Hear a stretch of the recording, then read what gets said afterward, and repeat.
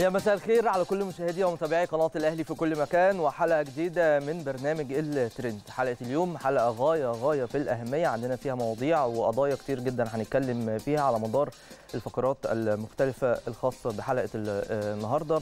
هنتطرق للجانب العالمي الجانب المحلي قبل كل ده كل القضايا والأخبار اللي بتخص نادينا الحبيب النادي الأهلي هنتكلم فيها في تفاصيل مهمة جدا وتوضيحات غاية في الأهمية تابعونا لحظة بلحظة على مدار حلقة النهارده. آه كمان آه عندنا تفاصيل أخرى آه كتير تتعلق بالجانب المحلي قد نتطرق ليها لكن اللي قبل كمان كل ده واللي هناخده مع نهاية الحلقة زي ما إحنا متعودين دايما هو تفاعل حضراتكم من خلال سؤال حلقة النهارده من برنامج الترند. والسؤال بيتعلق بكأس العالم للأندية بمناسبة إن القرعة بكرة بإذن الله تعالى الساعة 6 بتوقيت القاهرة 6 مساء عشان نعرف هنلاعب مين في كأس العالم للأندية بإذن الله تعالى. ففي رأيكم إيه هي أفضل نسخة لكأس العالم للأندية شارك فيها النادي الأهلي؟ هناخد تفاعلكم في الجزء الأخير من الحلقة زي ما إحنا عارفين دائما وابدا. مستنيين طبعا تواصل حضراتكم معانا من خلال صفحات القناة المختلفة على ال social media فيسبوك تويتر وإنستجرام. دايما البداية بتكون بأهم وأبرز العناوين. تعالوا نشوف. في ترند الأهلي الأهلي يطلب من وزير الرياضة واللجنة الأولمبية اعتماد فوز العمري فاروق بمنصب نائب الرئيس بالتزكيه لسه مع ترند الأهلي الجهاز الفني يبدأ التجهيز لمعسكر الإمارات. أما في الترند المحلي المنتخب يبدأ الاستعداد لكأس العرب بقطر.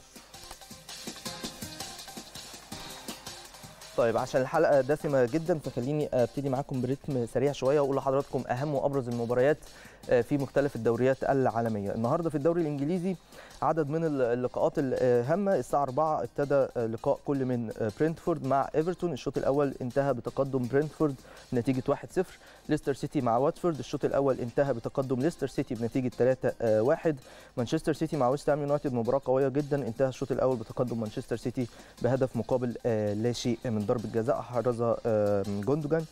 أما مباراة بيرنلي وتوتنهام هوتسبير واللي كان المفترض انطلاقها في تمام الساعة الرابعة عصرا أيضا في نفس التوقيت تم تأجيلها بسبب سقوط الثلج وسوء الأحوال المناخية فهيتم تحديد موعد لاحق ليها. أما المباراة الأخيرة النهارده وهي قمة الجولة هتكون ما بين تشيلسي ومانشستر يونايتد في الستانفورد بريدج الساعة 6 ونص مساء. مباراة قوية جدا جدا جدا. ده بخصوص الدوري الإنجليزي. أما فيما يتعلق بالدوري الأسباني فالنهاردة أيضا في عدد من اللقاءات. ريال بيتيس مع ليفانتي. انتهى الشوط الأول بتقدم ريال بيتيس بنتيجة 3-1 الساعة 5 وربع إسبانيول هيلاعب ريال سوسيداد. الساعة 7 ونص قادش مع أتلتيكو مدريد. والساعة 10 بالليل ريال مدريد مع إشبيلية. الدوري الإيطالي أودونيزي مع جنوا تعادل سلبي الشوط الأول أو انتهت المباراة تعادل سلبي بدون أهداف ميلان مع ساسولو. ساسولو متقدم على ميلان بعد انتهاء الشوط الأول بنتيجة 2-1 وسبيزيا مع بلونيا تعادل سلبي بدون أهداف لسه المباراة ما خلصتش. روما الساعة 7 مع تورينو ونابولي الساعة 10 إلا ربع مع لاتسيو. دي أهم وأبرز اللقاءات في مختلف الدوريات العالمية والدوريات الدوريات اللي بتبقى مثيرة جدا جدا وبيتابعها كم كبير من جماهير الكرة حول العالم. التفاصيل كلها هتكون بعد الفاصل. معانا استنونا. أهلا بحضراتكم من جديد. نركز مع بعض خطوة خطوة ونقطة نقطة في الكلام اللي هنتكلم فيه لأنه كلام مهم جدا محتاج تركيز وتركيز كبير قوي قوي كمان بخصوص موقف السيد العمري فاروق اللي نجح بالتزكية في انتخابات مجلس إدارة النادي الأهلي على منصب نائب الرئيس والجدل الكتير اللي حصل بشكل يعني غير واضح أو غير مبرر بالتحديد فأنا عايز أشرح لحضراتكم كل التفاصيل وكل الخطوات اللي اتخذها النادي الأهلي في هذا الاتجاه وهو اتجاه إيه اتجاه انعقاد الجمعية العمومية للنادي الأهلي لانتخاب مجلس إدارة إدارة للنادي جديد بشكل مفصل وبكل الخطوات المهمة جدا لأن إحنا زي ما إحنا متعودين دايما الأهلي بياخد كل الخطوات الاجرائيه الإجراءات القانونية بالشكل المنصوص عليه في لائحة النظام الأساسي وبالتنسيق مع مختلف الجهات الرسمية. في البداية الجهة الإدارية واللجنة الأولمبية تمام بيستندوا للمادة رقم 43 في لائحة النظام الأساسي للنادي الأهلي واللي بتتعلق بقصه التزكية وإن ما تمش تطبيق الخطوات اللي من خلالها يتم الموافقة على انتخاب السيد العمري فاروق كنائب لرئيس النادي الأهلي بالتزكية. فإحنا هنشرح هنشرح لحضراتهم الخطوات اللي تم اتخاذها إيه. خليني نبتدي كده واحدة واحدة. وركز برضو معايا تاني. واحدة واحدة. اولا الجهة الإدارية اللي هي مين؟ اللي هي وزارة الشباب آه، والرياضة. تبعت تبعت ماشي؟ ورجعت. واعتمدت كل الإجراءات الخاصة بانعقاد الجمعية العمومية للنادي الأهلي. يعني الأهلي اتخذ إجراءات وتم اعتمادها من الجهة الإدارية اللي هي وزارة الشباب والرياضة تمام؟ آه الخاصة بانعقاد الجمعية العمومية. الإجراءات كلها تم آه يعني مراجعتها واعتمادها كمان بشكل آه كامل وتم متابعتها من البداية لحد الآخر خالص لحد إعلان النتائج. وده بعد تفويض من مين؟ من اللجنة الأولمبية المصرية وده التسلسل الطبيعي اللي بيحصل بخصوص أي انتخابات أو بخصوص أي أمور من هذا القبيل يعني. ولم تشر الجهة الإدارية وده أمر مؤكد جدا لم تشر الجهة الإدارية إلا سمه أي أخطاء حصلت في هذه الإجراءات بدليل إن تم المراجعة وتم المتابعة في البداية قبل المراجعة وتم الاعتماد. فطالما اعت- اعتمدت يبقى ما كانش في أي مشاكل يبقى ما كانش في أي خطوات غلط يبقى ما كانش في أي آه، جزء من الأجزاء اللي ناقصة. حلو؟ حلو. فدي جزئية آه، مهمة آه، جدا. الجهة الإدارية كمان إيه؟ اعتمدت أسماء المرشحين وأوراق ترشحهم. بيبقى في مرشحين بيقدموا أوراقهم تم اعتماد الأسماء وتم اعتماد أوراق ترشحهم اللي هي الأوراق اللي بتبقى مطلوبة عشان تترشح على المنصب اللي أنت عايزه داخل مجلس الإدارة الخاص بأي نادي بالمناسبة. وده أمر طبيعي. فالجهة الإدارية إيه؟ اعتمدت كل الأوراق دي وكل الأسماء دي بشكل طبيعي جدا من غير أي آه، مشكلة ومن غير أي ملاحظات آه، خالص. وكمان الحاجات دي كلها موجودة من خلال إيه؟ مكاتبات موجودة آه، في النادي ال- الأهلي مكاتبات رسمية لأن برضو دي حاجات وخطوات طبيعية لازم يتم اعتمادها بالشكل الرسمي الصحيح تجنبا لأي أخطاء قد آه، تحدث يعني. الجهة الإدارية وأنا هنا بنقل لحضراتكم طبعا إيه؟ وجهة النظر الخاصة بالنادي واللي هي أصلا مش محتاجة يعني الموضوع بسيط جدا وما فيهوش أي مشكلة خالص والإجراءات واضحة وضوح الشمس يعني ما فيش أي مشكلة في الإجراءات. ولما حضراتكم هتسمعونا للآخر هتعرفوا إن الإجراءات ماشية بشكل صحيح وهنشوف الأمور آه، هتمشي إزاي. الجهة الإدارية كمان هي اللي اعتمدت إيه؟ اعتمدت إيه؟ وختمت استمارة الترشح أو استمارة التصويت. المدرج بيها اسم مين بقى؟ اسم السيد العمري فاروق. والمدرج فيها إيه؟ إن هو مرشح على منصب نائب الرئيس بالتزكية. كاسم وحيد مرشح في في في المنصب ده تحديدا يعني. الاستمارة اهي قدامنا على الشاشة زي ما حضراتكم شايفينها. الاستمارة فيها خانتي إيه بقى؟ وهي دي النقطة الأهم. خلي بالك النقطة الأهم. الخانتين موجود فيهم إن هي أوافق أو لا أوافق. يعني يحق لأي واحد من أعضاء الجمعية العمومية له الحق في التصويت إن هو يوافق على ترشح السيد العمري فاروق أو لا يوافق على ترشحه على منصب نائب الرئيس. تمام؟ لاعتماد الفوز بالتزكية. النقطة خلي بالك شايف مطلوب اعتماد الفوز بالتزكية. المكتوبة فوق خانتي موافق وغير موافق.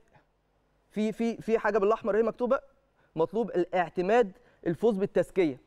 لو موافق هتعلم على موافق غير موافق هتعلم على غير موافق. هل ده مش بيمثل أو معناه عرض أمره بشكل رسمي على الجمعية العمومية والتي قامت بالتصويت عليه سواء بالموافقه أو لأ؟ يعني الجزئية دي تحديدا تحديدا لأن هو هنا نقطة الخلاف أو هي وجهة النظر عند ال- الجهة الإدارية يعني. رغم إن هم كانوا اعتمدوا. لكن هي وجهة النظر هنا بيقول لك إيه؟ بيقول لك طبقا للمادة 43 في لائحة النظام الأساسي للنادي الأهلي إن ما تمش يعني إيه؟ توضيح حتة إن يبقى آه، بالتزكية أو مش بالتزكية أو الإجراءات ما كانتش ماشية بالشكل المطلوب. لكن أنا بوري لحضراتكم أهو بشكل دقيق جدا إن كان موجود خانتي أوافق أو لا أو أو غير أوافق على الت- الترشح السيد العمري فاروق للمنصب وإيه؟ علشان تعتمدوا بالتزكية موجودة فوق علشان ما يبقاش في أي إيه أي لغط. فكل الإجراءات أهي واضحة. تمام؟ تعالى نكمل تاني. محضر آه، مناقشة جدول أعمال الجمعية العمومية اللي وقع عليه أعضاء اللجنة القضائية المشرفة على الانتخابات واللجنة القضائية المراقبة للانتخابات واللجنة الأولمبية والجهة الإدارية وفي حضور رئيس النادي الكابتن محمود الخطيب والموجود بحوزة النادي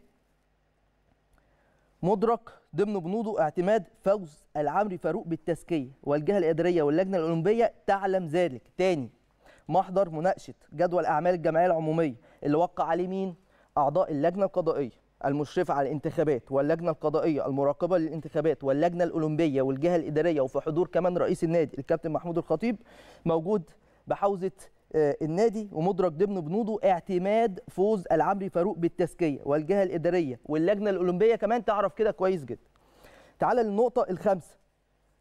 الجهة الإدارية هي التي وافقت على إدراك اسم العمري فاروق في استمارة التصويت المعتمدة رسميا لعرض أمره على الجهة على الجمعية العمومية. ليه؟ لأنه المرشح الوحيد على منصب النائب لاعتماد فوزه بالتزكية في حال حصوله على وده البند برضو اللي موجود في ال- البند رقم 43 في لائحة النظام الأساسي وهحكي لكم قصة برضو البند ده لأن دي توض- أو ده توضيح مهم جدا. لازم يحصل يحصل على كام في المية من الأصوات من إجمالي الأصوات 25% طيب السيد العمري فاروق حصل على كام في المية؟ 94% ويمكن أكتر بحاجات بسيطة. 94% من عدد الحضور طبقا للائحة النادي. وتم عرضه على الجمعية العمومية وده آه، ال- الغريب آه، آه، في الحقيقة. ولو يعني ال- المطلوب إن يتم عرض أمر السيد العمري فاروق بعد سنة في الجمعية العمومية العادية علشان يتم عرضه على ال- الجمعية العمومية بالموافقة أو بالرفض. فده مخالف تماما لكل اللوائح وكل الأعراف في الحقيقة. فبرضو دي من ضمن الجزئيات المهمة جدا جدا جدا. النص الخاص بفوز المرشح بالتزكية في لائحه النظا- النظام الأساسي للنادي الأهلي خلي بالك بقى من الحتة دي متطابق تماما في الصياغة. الموجودة فين؟ في لائحة النظام الأساسي لبعض الأندية. زي مين؟ زي مين؟ زي نادي الزهور ونادي هليوبلس ونادي سموحة. واللي حصل؟ إن عدد من المرشحين بالتزكية تم اعتماد فوزهم. خلي بالك بقى نادي الزهور تحديدا ده نادي الزهور. كان في ثلاثة نازلين آه، على ثلاث مناصب عن طريق التزكية إن ما كانش في مرشح قدامهم. اللي هم مين بقى؟ وأنا هتكلم برضو في النقطة دي تحديدا لاحقا. اللي هو رئيس النادي نادي الزهور ونائب الرئيس وأمين الصندوق. الثلاثه نزلوا بشكل بدون أي منافس بالتزكية. تم عرض أمرهم على الجمعيه العمومية عن طريق التزكية. موافقين عليهم ولا مش موافقين عليهم؟ وتم اعتماد فوزهم دون طلب عرض أمرهم مرة أخرى على الجمعيه العمومية آه، آه، لهذه ال- الأندية. ودي الاستمارة طبعا بتاعت مين؟ بتاعت نادي الزهور بتاعت الانتخابات الخاصة بنادي الزهور أو المستشار الدكتور محمد الدمرداش آه، زكي رئيسا لنادي الزهور. تمام. المستشار إيهاب علي الشريتي وأيضا المحاسب علي أحمد آه، صادق كامينا للصندوق. وتم اعتماد فوزهم في الانتخابات عن طريق التزكية والأمور كانت ماشية بشكل طبيعي جدا زي ما تم تطبيقه في انتخابات النادي الأهلي بالظبط. لأن صيغة كمان اللائحة اللي موجودة في لائحة النظام الأساسي في النادي الأهلي هي هي نفس الصيغة اللي موجوده في لوائح هذه الأندية. في بعضهم بيبقى عن طريق اللائحة الاسترشادية يعني حتى صيغة لائحة النادي الأهلي اللي هي مادة 43 الصيغه بتاعت المادة دي متطابق تماما للصيغة اللي موجودة في اللائحة الاسترشادية اللي بيمشي من خلالها بعض ال- الأندية واللي بيمشي من خلالها آه، آه، نادي الزهور وهليوبلس وسموحة. وخلي بالك بقى من الجزئية دي كمان هتقولي ما ممكن الجهة الإدارية تكون مختلفة؟ لا. نادي الزهور اللي نزل عليه في ثلاث مناصب ثلاث مرشحين عن طريق التزكية اللي هو الرئيس والنائب وأمين الصندوق بيشرف على انتخاباتهم جهة إدارية واحدة وهي مين؟ مديرية الشباب والرياضة بالقاهرة. يعني الجهة الإدارية اللي أشرفت واللي تبعت انتخابات واللي اعتمدت انتخابات نادي الزهور هي هي الجهة الإدارية اللي كانت موجودة آه، للإشراف على انتخابات النادي ال- الأهلي. تمام؟ النادي الأهلي كمان التزم بالإجراءات القانونية اللي حصلت في الأندية السالف ذكرها والتزم بذات الإجراءات واللي انتهت بالتصويت بنسبة 94% من خلال استمارة التصويت المعتمدة رسميا من اللجنة الإدارية. يعني كل الأمور التزم بيها النادي الأهلي مفيش أي شائبة مفيش أي غلطة خالص. حلو؟ تعالوا النقطة اللي بعديها. لو كانت الجهة الإدارية بقى المفوضه من اللجنة الأولمبية هي الجهة المختصة ترى أن هناك شرط أساسي لنجاح أي مرشح بالتزكية. طب ليه ما تمش النادي بالشرط ده؟ ليه ما تمش النادي بالشرط ده؟ إن في يا جماعة شرط عشان حد يرجع أو حد ينجح عن طريق التزكية ليه ما قالوش للنادي على الشرط ده؟ وقصه عرض آه، أمره على الجمعية العمومية مرتين. هو أمر يخالف كل اللوائح والقوانين والأعراف ليه ده ما حصلش مع الأندية الثانية ده سؤال يعني وجيه جدا. ليه لم يتم اختار النادي بذلك عند اعتماد الج- الجهة الإدارية لكشوف إيه المرشحين؟ فده برضو من ضمن الأمور ال- الغريبة يعني. النادي الأهلي بذل أقصى ما لديه والنقطة دي مهمة قوي اللي هي نقطة إيه؟ الأستاذ أو السيد وليد ال- الفيل اللي كان عايز يترشح على منصب نائب الرئيس وإجراءاته لم تكتمل إجراءات الترشح والراجل يعني آه، خد حكم بصحة الإجراءات. وال- وال- والحلو هنا والميزة هنا في النادي الأهلي إن عمل إيه؟ الأهلي آه، آه، وافق على الحكم الصادر باتخاذ كل الاجراءات القانونية لتنفيذ الحكم الصادر لمصلحة المرشح وليد الفيل وإدراك اسمه ضمن المرشحين. يعني الأهلي كان حريص جدا إن السيد وليد الفيل يكون موجود ضمن قائمة المرشحين في الانتخابات على على إيه؟ منصب نائب الرئيس تجنبا ل يعني تواجد الأهلي في المحاكم أو ساحة المحاكم في الوقت. الغريب بقى في الوقت إيه؟ إن حرصت فيه اللجنة الأولمبية والجهة الإدارية على الاستشكال ضد الحكم الصادر لصالح المترشح وليد الفيل. يعني الأهلي ما استشكلش لكن اللي استشكل مين؟ خلي بالك الأهلي ما استشكلش. اللي استشكل اللجنة الأولمبية والجهة الإدارية ضد الحكم الصا- الصادر لصالح وليد الفيل. المترشح كان على منصب نائب الرئيس. كأن هناك حرص بشكل أو بآخر على أن يظل العمري فاروق هو المرشح الوحيد على منصب نائب الرئيس. يعني تحس كده إن في حرص إن لأ يعني حتى لو المحكمة حكمت لوليد الفيل إنه يخش الانتخابات لأ إحنا هنطعن كلجنة أولمبية آه، وجهة إدارية ونعمل استشكال عشان ما يترشحش. وكأن في إن إيه النيه إن أنا عايز لأ أخلي العمري فاروق لوحده. لسبب ما يعني؟ إن العمري فاروق هو اللي يكون موجود. فين؟ في آه، مترشح على آه، منصب نائب الرئيس وحيدا يعني. النقطة بقى برضو ال- ال- الأخيرة والمهمة اللي أنا بشرح لحضراتكم من خلالها آه، كل ما تفاصيل هذه ال- الجزئية وهي خاصة بقيام اللجنة الأولمبية والجهة الإدارية بتعليق من- منصب نائب الرئيس. وأنا بعد ما هقول لكم الجزئية دي هقول لكم تساؤل بقى يعني. قيام اللجنة الأولمبية والجهة الإدارية بتعليق منصب نائب الرئيس في قلعة رياضية. بحجم النادي الأهلي تعمل بكل إخلاص لمصلحة الوطن بالمخالفة للوائح والقوانين. ده في ضرر كبير جدا للنادي واعضائه وفوقه الرياضة آه، التي تدعم المنتخبات الوطنية من آه، كل اللعبات ال- آه، الرياضية في الوقت الذي يدعم فيه فخامة الرئيس عبد الفتاح السيسي استقرار المؤسسات الوطنية. فخامة الرئيس عبد الفتاح السيسي دائما وابدا بي- بيبقى حابب أن يكون في استقرار في كل المؤسسات الرياضية لكن اللي بيحصل في الحقيقة يعني مخالف تماما آه، آه، لهذه الجزئية. أنا هنا عايز أسأل سؤال وسؤال مهم وإحنا شفنا بيان النادي الأهلي آه، بالأمس بيان مفصل جدا آه، في الحقيقة وفي كل النقاط اللي محتاجة آه، إجابات أو كل الأسئلة اللي محتاجة آه، إجابات. لكن هنا السؤال انتخابات النادي الأهلي نزل فيها كل المناصب كان عليها آه، أكثر من مرشح وفي منافسة. ما عدا منصب نائب الرئيس. فحصلت الق- القصة دي وفي الاعتراض من الجهة الإدارية وكل هذه الجوانب. هنا السؤال. ماذا لو كان الكابتن محمود الخطيب نزل لوحده عشان يتم اعتماد آه، نجاحه بالتزكية من خلال اللوائح والقوانين ويتم برضه آه، آه، تواجده في كشوف المرشحين بالشكل ده وفي استمارات التصويت. ولو كان كمان مع النائب العمري فاروق هو ومنصب أمين الصندوق كمان لو مثلا المهندس خالد مرتجي الثلاثه كانوا مرشحين بالتزكية. كان هيتم تعليق تواجدهم في مجلس إدارة النادي الأهلي لمدة سنة؟ ما هنا السؤال. وعلى فكرة الموقف ده مشابه شوية لنادي الزهور. ما تمش تعليق أي حد وما تمش عرض موقف أي حد على الجمعيه العمومية مرة أخرى آه، بعد سنة. فلو كان الثلاثه سواء منصب الرئيس أو النائب أو أمين الصندوق. الثلاثه نازلين لوحدهم مفيش أي منافس قدامهم أو أي مرشح آخر قدامهم. كان هيتم تعليق تواجدهم في مجلس إدارة النادي الأهلي. طيب الجوانب المادية والأمور المالية مين اللي كان هيحلها؟ مين اللي كان مين اللي كان هيشتغل فيها؟ طب هنا السؤال الآخر لو كان مجلس الإدارة بالكامل أو كل المرشحين كل المرشحين نازلين ما قدامهمش منافس يعني عندك ثلاثة رئيس ونائب وأمين صندوق وسبعة أعضاء بس ترشحوا فوق السن واثنين بس تحت السن. بالتزكية. وكانوا هياخدوا موافقة الجمعية العمومية. تمام؟ كان إيه اللي ممكن يحصل؟ كان هيتم تعليق مجلس الإدارة بالكامل لمدة سنة لحد ما يبقى في جمعية عمومية عادية وتوافق تاني أو ما توافقش.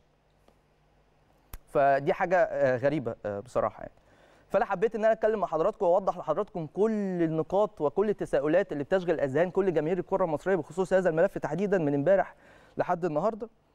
ونبقى في الصورة واحدة واحدة وكل النقاط بالتفاصيل تبقى آه، موجودة. فلغاية دلوقتي مفيش أي مبرر لعدم اعتماد فوز السيد العمري فاروق كنائب رئيس للنادي الأهلي رغم اعتماد الجهة الإدارية ورغم الختم اللي كان موجود على استمارة التصويت ورغم كل الإجراءات الصحيحة اللي تم اعتمادها من كل الجهات المختلفة المختصة.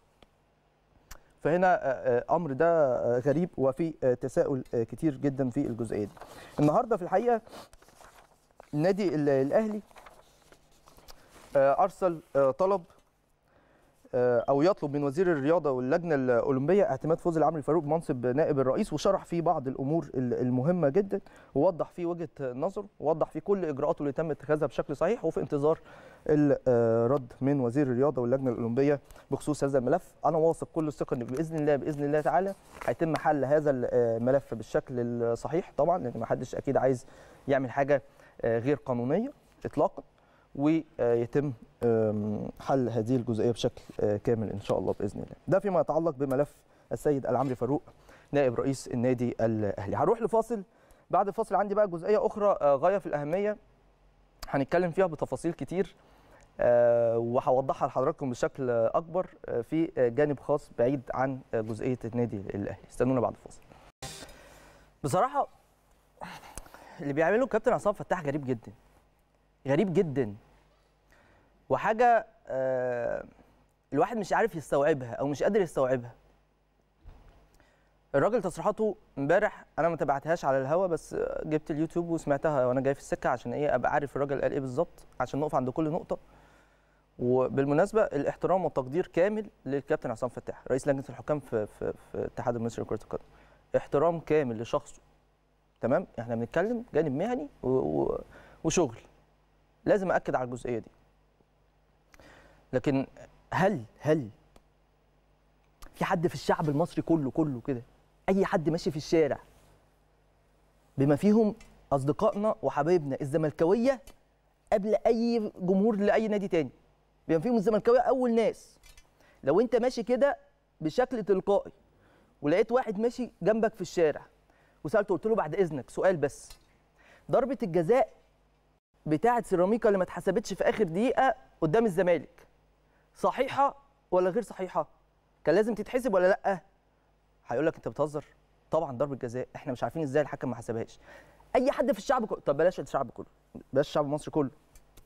اسأل أي حد في الدنيا كده. ابعت لأي حد على السوشيال ميديا. قول له سيراميكا يستحق ضربة جزاء قدام الزمالك ولا لأ؟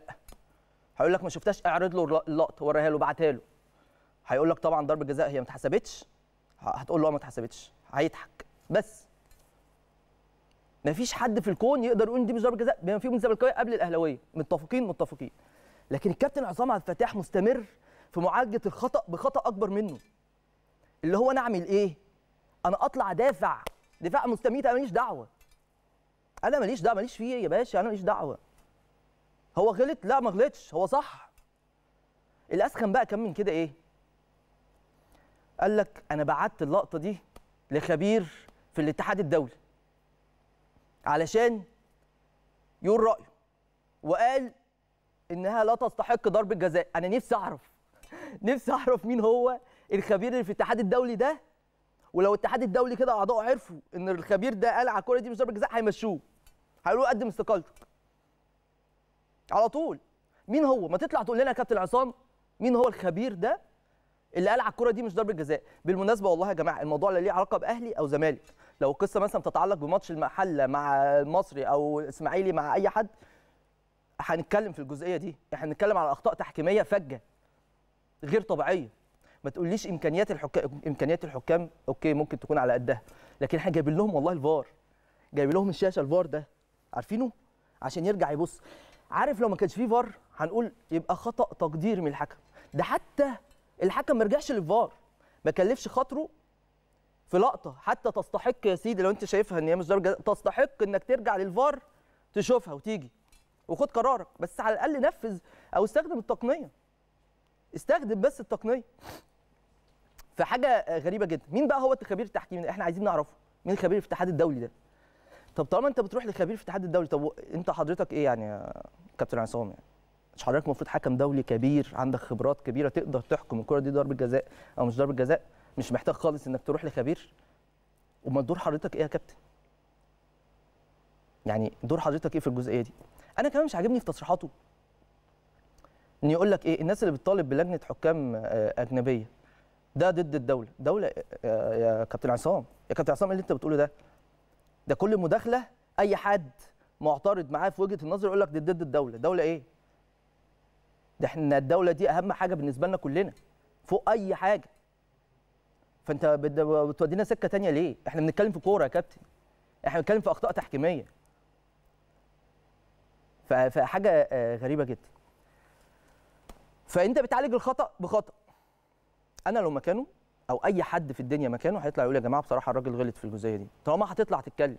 وهو كل شوية يقول أنا ما كنتش ناوي أتكلم بس هتكلم. ما كنتش ناوي أتكلم. طب ما تاخد قرار يا إما تفضل تتكلم زي ما حضرتك بتتكلم يا ما تتكلمش. فدي أمور آه، غريبة جدا يعني.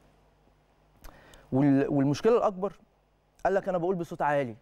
الكره مش ضربة جزاء بصوت عالي بثقة. طب إزاي؟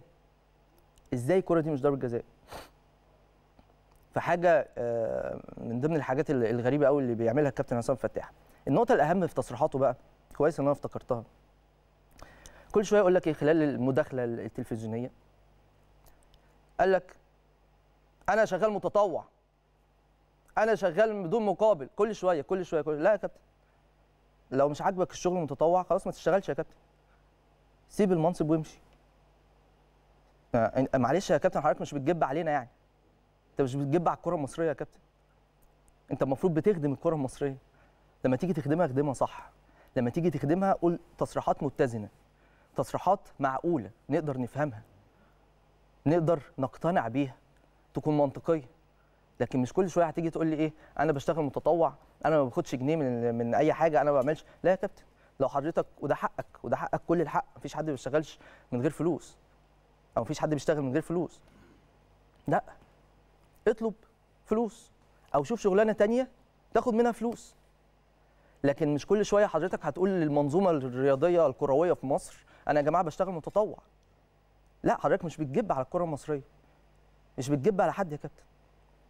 فدي حاجة غريبة جدا حاجة غريبة جدا جدا. تصريحات بصراحة آه، أول ما الواحد سمعها قعد يضحك. مش أنا بس كلكم. مش كجانب تريقة على الكابتن عصام فتاح حاشا لله طبعا لأ. طبعا لأ الراجل ليه كل الاحترام والتقدير. لكن عشان هي تصريحات مضحكة. هي تصريحات لا تفهم تصريحات غريبة تصريحات بتك... طب أنا أقول لك على حاجة معلش استحملي شوية في الملف ده لأن بص التحكيم إحنا من السنة اللي السنة اللي فاتت إيه؟ بقى لنا سنتين ثلاثة بنتكلم في مشاكل التحكيم مفيش تطور جبنا الفار غيرنا رؤساء أو لجان آه، حكام وقلت لحضراتكم قبل كده إن اللجنة آه ممكن الرئيس بتاعها اتغير لكن اللجنة هي هي. فاكرين كلامنا اللي قلناه من أسبوعين؟ اللجنة هي هي اللي موجوده كابتن وجيه أحمد ها كابتن عزب حجاج هم هم الناس اللي كانوا أصلا موجودين وبيديروا لجنة الحكام فاتت هم اللي بيعينوا لحد دلوقتي مش كابتن عصام فتاح. أنا بعيد تاني وبأكد على معلومة مؤكدة أنا بقولها لحضراتكم. فإحنا عمالين نحاول الدنيا تتظبط في في الجانب التحكيمي في مصر بس مفيش حاجة بتتظبط. فأنا دلوقتي كحكم بقى الجزئية دي. أنا دلوقتي كحكم بسمع رئيس لجنة الحكام بتاعي بيدافع عني طول الخط حتى لو أنا غلطان. خلاص بقى هشيل دماغي بقى. هنزل أحكم ما هو في اللي بيدافع عني. هاخد أي قرار من غير ما حتى أفكر أو من غير ما أراجع الفار. ما هو في اللي بيدافع عني. في اللي بيسقف لي على كل حاجة بعملها صح أو غلط. لو صح كلنا نسقف له. لكن لو غلط نقول أخطأ عشان غيره يتعلم وعشان هو يتعلم وعشان نتفادى الأخطاء التحكيمية في الكرة المصرية. هيبقى في أخطاء. بس مش بالشكل ده يا جماعة. حتى في ظل وجود الفار. فأنا مش عارف مش عارف الحل إيه مع الكابتن عصام فتاح. أنا بطلب من الكابتن عصام فتاح بعد إذنك طالما حضرتك في المداخلة قلت إن أنا بفكر أمشي بعد إذنك يا كابتن يا ريت يا ريت. لو حضرتك مش قادر لو حضرتك مش قادر تطور وتشتغل صح كرئيس لجنة الحكام بعد إذنك خلاص. اعتذر. بدل ما كل شوية أنا شغال متطوع أنا شغال مش عارف إيه وكلام من ده. ف نتمنى إن الكابتن عصام فتاح يراجع أموره كده ويراجع تصريحاته ويفكر في تصريحاته قبل ما يقولها ويفصل ما بين كل شيء والآخر عشان بيتم إقحام كده حاجات في بعض والدنيا بتبقى عاملة كده والدنيا بتبقى غلط خالص يعني. ده فيما يتعلق بتصريحات الكابتن عصام فتاح امبارح. هروح لفاصل سريع. بعد الفاصل تعالوا نكمل أخبار ال- الأهلي في في السوشيال ميديا وبعض الحسابات الرسميه أهلا بحضراتكم من جديد. خلينا ناخد الأخبار اللي اتقالت على الأهلي في السوشيال آه، ميديا بالتحديد على الحسابات الرسمية المختلفة. نبتدي بالحساب الرسمي للأهرام على تويتر واللي بيقول إن موسيماني يجتمع مع سيد عبد الحفيظ للترتيب لمعسكر الإمارات ويعني بيتم ال- الاتفاق على كل الإجراءات الخاصة بالمعسكر مواعيده مبارياته الودية مقر إقامة النادي الأهلي هناك في ال- في الإمارات. إن شاء الله يكون المعسكر آه، موفق جدا في إطار استعداد الأهلي لما هو بعد فترة التوقف اللي هتشمل ماتشين مهمين جدا بعد فترة التوقف. عندك فيوتشر وبيراميدز قبل فترة توقف أخرى خاصة ببطوله الأمم الأفريقية إن أقيمت يعني. فماتشين هيكونوا مهمين قوي فأنت بتحضر نفسك كمان لتحديات أخرى كمان غاية في الأهمية. خلينا نروح لحساب يلا كورة على تويتر باختيار متابعين يلا كورة. بيرسي تاو أفضل لاعب في الجولة السادسة من الدوري المصري. وده طبعا بعد ما تألق في مباراة سموحة وأحرز هدفين وعمل مباراة كبيرة جدا منهم هدف كان أكثر من رائع. بيرسي تاو هداف الدوري المصري برصيد خمس أهداف متساويا مع أحمد سيد زيزو لاعب نادي الزمالك. يلا كوره كمان بيتكلموا على قبل إجراء قرعة البطولة غدا. بكرة طبعا قرعة كأس العالم للأندية اللي مشارك فيها النادي الأهلي. المشاركة دي هتكون رقم كام؟ رقم سبعة في تاريخ النادي الأهلي. عدد كبير جدا من المشاركات ما شاء الله لا قوة إلا بالله وإن شاء الله يكون في أكتر من كده. الأهلي شارك في ست مناسبات قبل كده خمسة وستة 2005 و2006 و2008 و2012 و13 و20 قدر الأهلي في المشاركات دي كلها إن هو يحقق الميدالية البرونزية مرتين. مرة كان من خلال فوزه على كلوب أمريكا بنتيجة 2-1 لو نفتكر ومرة من خلال فوزه على بالميراس بضربات الجزاء الترجيحية. بالمناسبة بالميراس كمان مشارك في البطولة المقبلة طبعا بعد فوزه. وهو ده الخبر اللي معانا من في الجول. بالميراس البرازيلي والأهلي يشاركان المرة الثانية على التوالي في كأس العالم للأندية. الأهلي توج بدوري الأبطال في آخر نسختين وكذلك بالميراس بكوبا ليبرتادوريس المرة الثانية على التوالي. الفريقين طبعا زي ما حضراتكم عارفين اتقابلوا قبل كده في البطولة اللي فاتت وقدر الأهلي إن هو يفوز بالميدالية البرونزية على حساب بالميراس من خلال ضربات الجزاء الترجيحية يعني. خلينا كمان ناخد أمر آخر أو خبر آخر من ضمن الأخبار اللي اعتدنا عليها يعني. يعني ما ينفعش كده نطلع حلقة من غير ما نلاقي خبر على كهرباء إن في أزمة أو في مشكلة يعني. فاليوم السابع بيقول لك إيه إحنا بنكشف سر الانقلاب على كهرباء واقتراب رحيله عن الأهلي. طيب تاني يا جماعة وتالت وعاشر كهرباء موجود ومستمر مع النادي الأهلي. هل في أزمة؟ مفيش أي أزمة. هتقولي طب أنت بترد ما أنا لازم أوضح لحضراتكم. ما كل مرة كل ما هلاقي خبر كده لازم هوضح لحضراتكم. الأمور ماشية إزاي. الموقف بالنسبة للكهرباء متعلق ببعض الجوانب الفنية. وجهه نظر فنية خاصة بالمدرب المدير الفني مستر بيتسو موسيماني. لكن لا في أي مشكلة ولا في أي أزمة ولا في أي حاجة يعني. وكهرباء بيشتغل كويس جدا. وفي التدريبات ما شاء الله ماشي بشكل جيد. القرار الأول والأخير للمدير الفني وده اللي بيحترمه كهرباء واللي بيحترمه كل الجماهير جماهير النادي الأهلي لأن الهدف الأول والأخير هو مصلحة الفرقة في كل الأحوال يعني. فما فيش لا اقتراب رحيل ولا أي حاجة يعني. ممكن يبقى في متغيرات لكن أنا بتكلم لحد اللحظة دي لا حد ماشي ولا الأمور زي ما بنسمعها دايما أو بنقراها في الحسابات الرسمية المختلفة. الوطن سبورت بيقول كبار الأهلي يتدخلون لسه مع كهرباء بقى، كبار الأهلي يتدخلون لحل أزمة كهرباء مع عثماني، هو أصلا مفيش أزمة عشان كبار الأهلي يتدخلوا قصدهم يعني كباتن الفريق في, في الأهلي. لو في أزمة أكيد بيبقى ليهم دور بالمناسبة وده أمر مهم جدا. لكن مفيش أزمة والموضوع جانب فني بحت. لو كان في أزمة كان الأهلي أعلن عنها زي ما أعلن عن أزمة قبل كده مثلا وأعلن عن العقوبة بتاعتها. فده أمر مهم جدا. طيب ده فيما يتعلق بأخبار الأهلي في السوشيال ميديا. هنروح لفاصل سريع. بعد الفاصل نرجع نكمل استنونا. طيب خلينا نشوف الجانب المحلي وآخر الأخبار المهمه على الساحة الرياضية المصرية. ونبتدي بالاتحاد المصري لكرة القدم.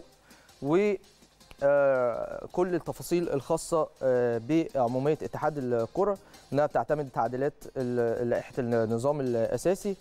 التعديلات اللي أقرتها العمومية الطارئه كالآتي ده من خلال طبعا حساب يلا كوره على تويتر. اولا إجراء انتخابات مجلس إدارة أو إدارة اتحاد الكرة أو التزكيه بنظام القائمة المغلقة المطلقة ما يترتب على ذلك من تعديلات في قواعد الانتخابات ثانيا تخفيض العدد المطلوب للدعوه لانعقاد الجمعية العمومية غير العادية اللي تكون 25% بدل من 50% ثالثا تكليف لجنتي الانضباط والاستئناف بالاتحاد بتولي إدارة العملية الانتخابية والتي تشمل عملية فحص أوراق الترشح والانتخاب بدلا من اللجنة الثلاثية لاتحاد الكرة رابعا تطبيق بند الثمان سنوات على أعضاء مجلس إدارة الاتحاد المصري لكرة القدم السابقين حال معاودتهم الترشح مرة أخرى خامسا إجراء تعديل في شروط الترشح يتيح الفرصة للترشح لكل من من له خبرة في مجال كرة القدم دون حصرها في اللاعبين والحكام والمدربين السابقين وأعضاء مجلس الإدارة. يعني القصة دي شائكة شوية يعني فيها كلام كتير وكذا إضافة عبارة وفي جميع الأحوال لا يعتبر التصالح في الجرائم المتعلقة بأداء الخدمة العسكرية بأي صورة من الصور بمثابة إعفاء من إعفاء من أدائها تماشيا مع شروط الترشح في كافة الانتخابات مختلف انواعها النواب والشيوخ والأندية والاتحادات. طيب خلينا ناخد خبر آخر وده من خلال المصري الرياضي على تويتر واللي بيقولوا سفير مصر في قطر يستقبل بعثة المنتخب الأول لكرة القدم. إحنا عارفين المنتخب وصل امبارح بالليل لقطر عشان يشارك في كأس العرب اللي هتبتدي إن شاء الله بإذن الله يوم 30 من الشهر الجاري. أول ماتش لمنتخبنا الوطني هيكون يوم واحد أمام منتخب لبنان في المجموعة بتاعتنا. إن شاء الله نتمنى لمنتخبنا كل التوفيق ويكون في إعداد جيد جدا للمنتخب في هذه البطولة للمراحل الهامة جدا المقبلة. تصريحات للكابتن وائل جمعه من خلال كورة بلس وحسابه الرسمي على تويتر. بيقول إحنا هنعيش في البطولة العربية أجواء المونديال وقال سنبذل قصارى جهدنا للتتويج بكأس العرب.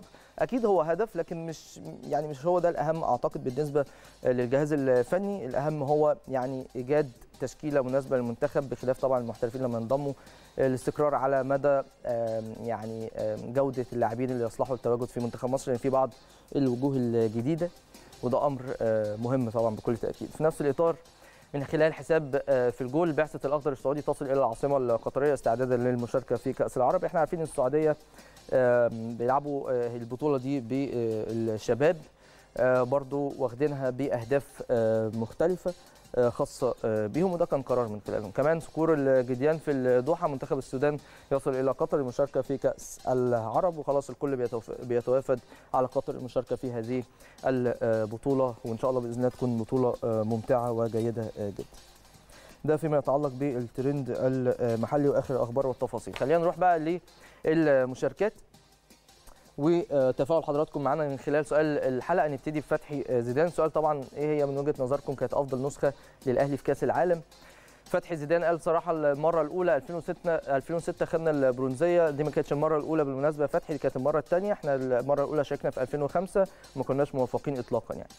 2006 هي يعني من وجهة نظره هي أفضل مشاركة. كان هداف البطولة أبو تريكة بثلاثة أهداف وقدم الاهلي فيها كرة قدم جميلة ده فعلا. والثانيه آخر نسخة القاضية ممكن والنتيجة بالبرونزية الثانية بأداء قوي وروح الأهلي إن شاء الله المرة الجاية تكون أفضل. وربنا يكرمنا تكون الأولى في الجزيرة بإذن الله تعالى. طيب خلينا كمان ناخد أحمد سيد واللي قال النسخة الأخيرة لأنها بعد القاضية ممكن. ماشي. القاضية ممكن أكيد يعني مهمة جدا بالنسبة لكل جماهير النادي الأهلي يعني أمر طبيعي يعني. محمد الحسني قال 2006 أقوى بطولة بس ما فيش نصيب. بس إحنا خدنا برونزية في 2006 آه نفسنا طبعا في أحسن من كده بكل تأكيد. محمد قال إيه؟ آخر نسخة لأنها كانت على حساب وصفنا التاريخي. ماشي. اللي هو نادي الزمالك طبعا. ووائل الصحراوي قال النسخة الماضية بجانب نسخة 2008 أهلاوي وأفتخر. طيب دي كانت تفاعلات حضراتكم معانا من خلال ترند أو من خلال طبعا سؤال حلقة النهارده في الترند وأمور كتير جدا كانت مهمة اتكلمنا فيها على مدار الحلقة سواء في الجانب اللي بيتعلق بأخبار النادي الأهلي على مختلف المستويات أخبار الفرقة وتعلقنا كمان على كل الأمور اللي بتتقال على الأهلي في السوشيال ميديا. دي كانت حلقتنا النهارده. ليس لدينا المزيد. غدا كل الجديد في حلقة جديدة من نفس البرنامج. استنونا. إلى اللقاء.